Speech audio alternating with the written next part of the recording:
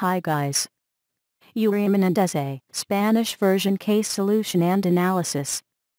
Uria Menendez, the topmost law firm in Iberia, is at a serious point in its long and illustrious history.